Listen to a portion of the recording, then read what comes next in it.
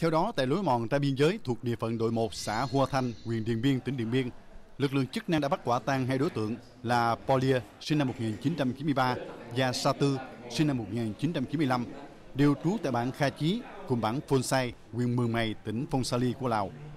Tăng vật thu giữ gồm 5 hộp nhựa màu trắng, bên trong chứa các cục nhựa thuốc phiện màu đen, tổng trọng lượng khoảng 3 kg